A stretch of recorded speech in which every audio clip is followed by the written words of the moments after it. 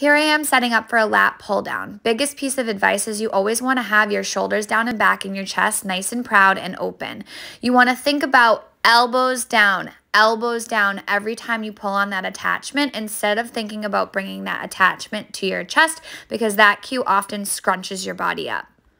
Through your spine, you want to have a lateral line uh, from the top of those shoulders all the way to that tailbone, and your feet should be planted on the ground the whole entire time.